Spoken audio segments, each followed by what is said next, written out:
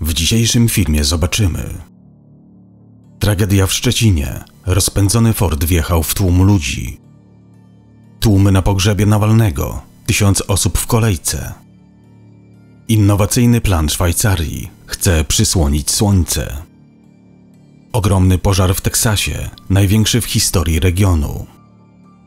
Rząd Tuska zabiera się za zaporę na granicy. Scholz przez przypadek wkopał sojuszników. Zespół Kult wydał oświadczenie w bulwersującej sprawie. Samoloty Rosjan przy granicy z Polską poderwano myśliwce. Zapraszam do oglądania.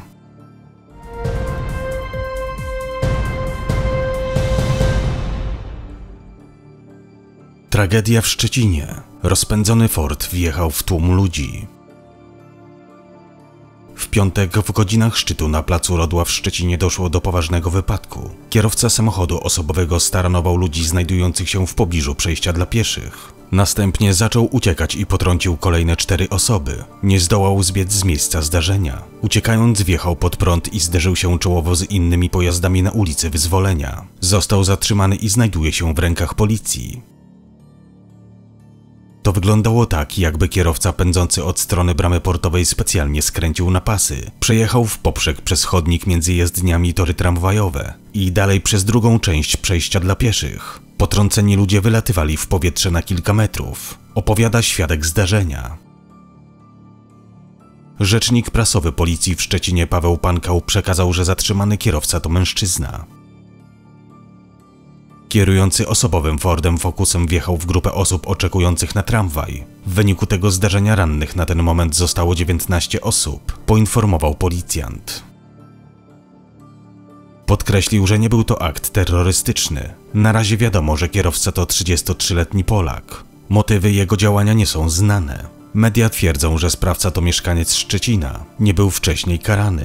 Jednak pojawiły się opinie, że kierowca wjechał specjalnie w grupę przechodniów, Stwierdził tak m.in. rzecznik Zachodnio-Pomorskiej Straży Pożarnej. Stan dwóch osób jest bardzo poważny. Tłumy na pogrzebie Nawalnego. Tysiąc osób w kolejce. W piątek w Moskwie odbył się pogrzeb Aleksieja Nawalnego. W ceremonii uczestniczyli ambasadorzy USA, Niemiec, Francji oraz przedstawiciele kilku innych europejskich krajów. Najbliższa okolica była patrolowana przez dziesiątki policjantów i funkcjonariuszy OMON-u. W rejonie stacji metra wszystkie osoby niosące kwiaty były legitymowane. Zgodnie z relacją korespondenta Mediazona na miejscu zanotowano znaczne problemy z dostępem do internetu mobilnego. Wcześniejsze doniesienia sugerowały, że niedaleko świątyni zainstalowano anteny służące do zapewnienia łączności struktur siłowych. Wszystko potwierdzamy. Ponownie odnotowano przypadek wyłączenia telefonicznego internetu na polecenie władz. Wieże komórkowe obecnie działają w trybie UMTS, przekazał dyrektor Towarzystwa Ochrony Internetu. Według rosyjskiej redakcji Radia Swoboda funkcjonariusze pozwolili oczekującym wejść na teren cerkwi, jednak nie dopuszczono ich do samej świątyni. Tłum miał liczyć około tysiąca osób. Przedstawiciele zespołu Nawalnego donieśli, że napotkali trudności w znalezieniu zakładu pogrzebowego, który zgodziłby się zorganizować publiczną ceremonię pożegnania. Zarówno instytucje państwowe, jak i prywatne odmówiły pomocy, a niektóre wyraźnie przyznały, że otrzymały zakaz przyjęcia takiego zlecenia. Tłum zgromadzony w pobliżu świątyni skandował Nawalny i nie wybaczymy oraz nie dla wojny. Nabożeństwo pogrzebowe trwało bardzo krótko, zaledwie kilkanaście minut. Oficjalnie ceremonia miała rozpocząć się o godzinie 15, jednak władze zdecydowały się przyspieszyć tę część uroczystości. W wyniku idiotycznych działań policji karawan został zablokowany. Teraz czekamy na cmentarzu, a pracownicy zakładu pogrzebowego niosą trumnę, powiedział bliski współpracownik Nawalnego. Wydarzenia w Moskwie skomentował rzecznik prasowy Kremla Dmitrij Pieskow. Kreml nie ma nic do powiedzenia bliskim Nawalnego w dniu jego pogrzebu, przekazał rzecznik Kremla. W swoim komentarzu Pieskow podkreślił, że osoby uczestniczące w nieuprawnionych działaniach zostaną pociągnięte do odpowiedzialności zgodnie z obowiązującymi przepisami prawa karnego. Innowacyjny plan Szwajcarii chce przysłonić słońce. Podczas trwającej do 1 marca sesji Zgromadzenia ONZ do spraw środowiska zaplanowano debatę dotyczącą technologii mających na celu zmniejszenie ilości promieni słonecznych docierających do Ziemi, o co zabiega Szwajcaria. Kraj ten rozpoczął dyskusję na temat geoinżynierii słonecznej, mającej na celu potencjalne oddziaływanie na zmiany klimatu. Ponadto z uwagi na kwestie bezpieczeństwa Szwajcaria naciska na utworzenie międzynarodowej instytucji do spraw tych dyskusyjnych rozwiązań. Szwajcaria jest inicjatorem debaty na temat nowatorskiej metody walki ze zmianami klimatu. Zgodnie z doniesieniami brytyjskiego dziennika The Guardian, celem jest przeprowadzenie zaawansowanej dyskusji na temat korzyści i ryzyk, które związane byłyby z próbą ograniczenia ilości światła słonecznego docierającego na Ziemię. Metoda polegałaby na przysłonięciu Słońca, co mogłoby ograniczyć ilość docierającego na Ziemię promieniowania słonecznego. Jedną z proponowanych metod realizacji tego celu byłoby nasycenie ziemskiej atmosfery cząstkami dwutlenku siarki, co umożliwiałoby umożliwiłoby częściowe blokowanie przepływu promieni słonecznych. Te promienie zostałyby odbite z powrotem w przestrzeń kosmiczną. Podobnie część emitowanego ciepła mogłaby zostać odbita z powrotem. Szwajcaria dąży również do utworzenia międzynarodowej instytucji, która miałaby zajmować się zbieraniem informacji na temat geoinżynierii słonecznej. Zwolennicy szwajcarskiej koncepcji argumentują, że szeroki nadzór nad pracami z zakresu geoinżynierii klimatu istotnie zmniejszyłby ryzyko rozwoju takich technik przez podmioty prywatne lub wyizolowane państwa. Z kolei sceptycznie nastawieni naukowcy skupiają się na braku udowodnionej skuteczności oraz trudnościach w przewidzeniu wszystkich globalnych konsekwencji związanych z wpływaniem na klimat planety. Ogromny pożar w Teksasie, największy w historii regionu. Zgodnie z doniesieniami telewizji CNN pożar o nazwie Smokehouse Creek spustoszył dotychczas obszar ponad 400 tysięcy hektarów w samym Teksasie. Służby leśne podały, że do środy ogień strawił także ponad 13 tysięcy hektarów w Oklahomie. W wyniku żywiołu szalejącego w Teksasie Zachodnim zginęły co najmniej dwie osoby. W części dwóch regionów nakazano ewakuację mieszkańców. W wielu lokalizacjach występują również przerwy w dostawach energii elektrycznej. Do czwartku pożar miał zostać opanowany zaledwie w 3%. Prezydent Joe Biden zobowiązał się wesprzeć osoby dotknięte skutkami pożarów w swoim oficjalnym oświadczeniu. Płomienie rozprzestrzeniają się pod wpływem gwałtownych wiatrów oraz sprzyjających suchych i wyjątkowo ciepłych warunków atmosferycznych. Gubernator Teksasu Greg Abbott ogłosił stan klęski żywiołowej dla 60 hrabstw. Pożar został określony jako największy w historii regionu. Poprzednim rekordzistą był pożar East Amarillo Complex w 2006 roku, który spowodował pożar o powierzchni około 367 tysięcy hektarów. Rząd Tuska zabiera się za zaporę na granicy.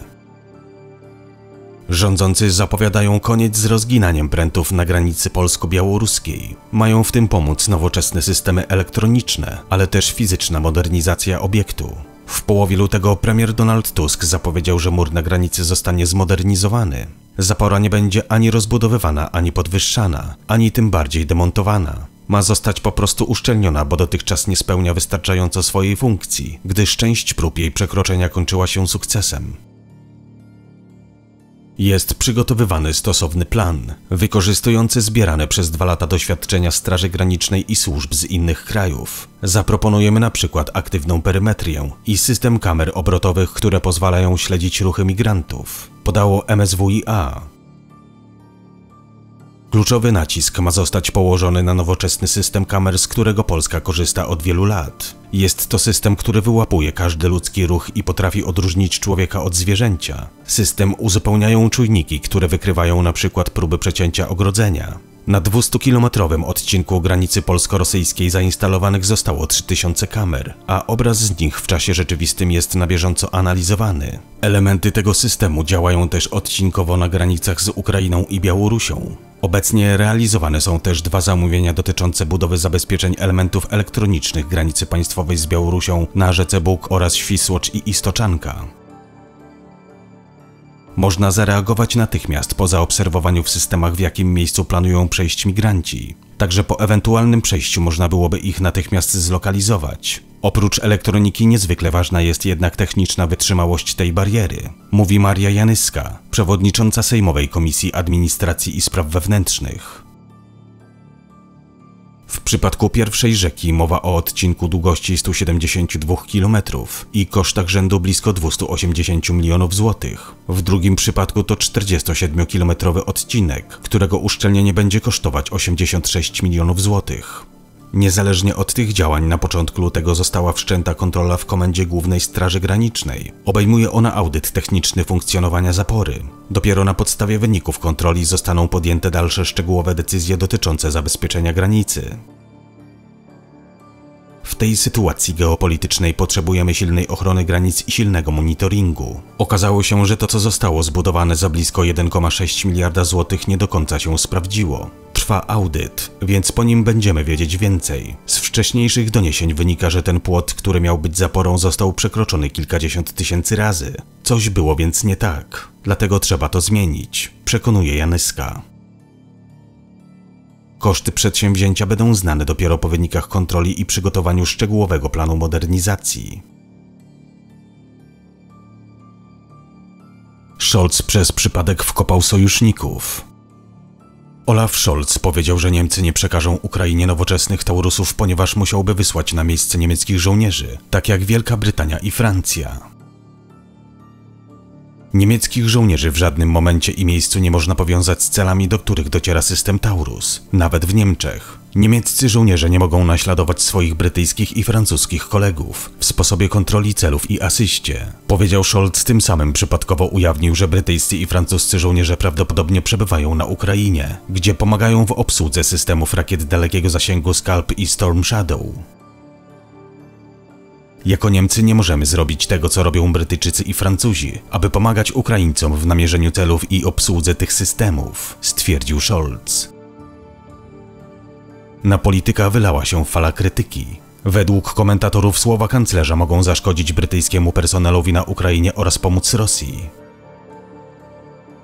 Wypowiedź Scholza to rażące nadużycie informacji wywiadowczych, użyte celowo, aby odwrócić uwagę od niechęci Niemiec do uzbrojenia Ukrainy we własny system rakietowy dalekiego zasięgu. Bez wątpienia zostanie to wykorzystane przez Rosję, powiedział były przewodniczący Komisji Obrony Brytyjskiej Izby Gmin Tobias Elwood, który stwierdził, że słowa kanclerza na pewno zostaną wykorzystane przez Rosję.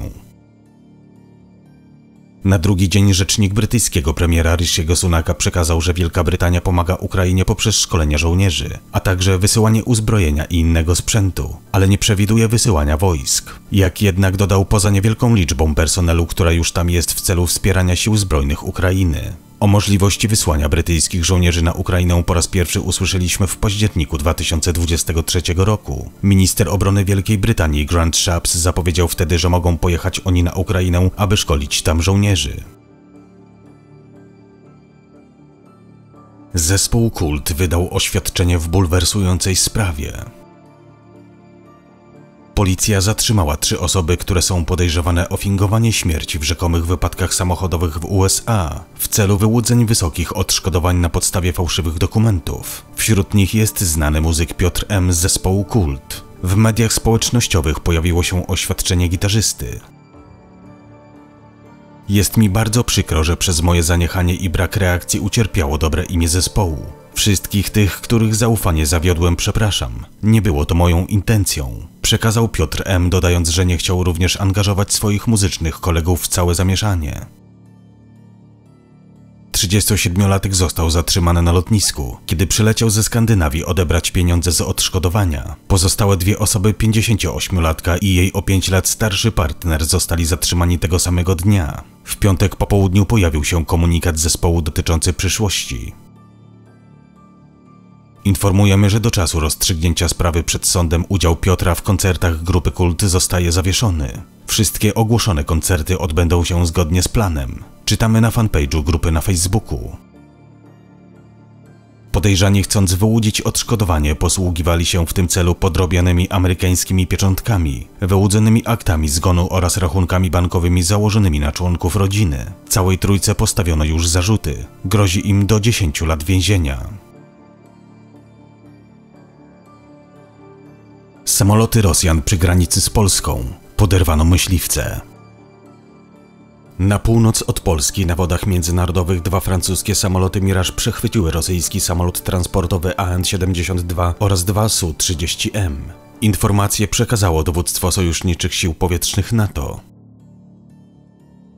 Zobaczcie, jak wyglądało przechwycenie przez dwa francuskie Mirage 2005 dwóch rosyjskich samolotów Su-30M nad Morzem Bałtyckim. Bezpośrednio po tym francuskie myśliwce otrzymały zadanie wykonania nowej misji. Przechwyciły rosyjski AN-72 lecący nad wodami międzynarodowymi na północ od Polski. Napisało dowództwo.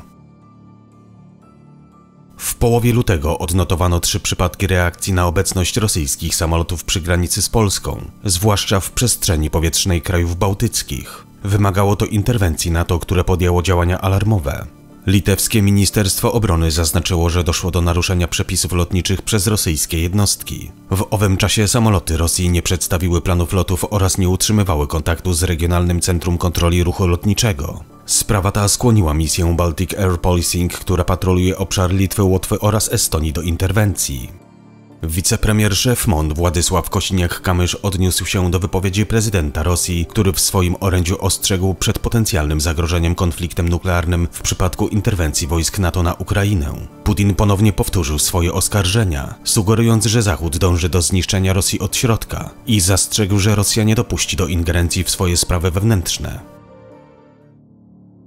Te słowa są potwierdzeniem dążeń rosyjskich, które niektórzy przez lata traktowali z przymrużeniem oka, ale okazało się, że trzeba je traktować bardzo poważnie. Od kilku tygodni mówimy bardzo wyraźnie: Polska i NATO muszą być gotowe na każdy scenariusz. Nie ma dziś sytuacji spokoju, wiecznego pokoju ani optymistycznego patrzenia w przyszłość. Sytuacja jest bardzo napięta, powiedział wicepremier.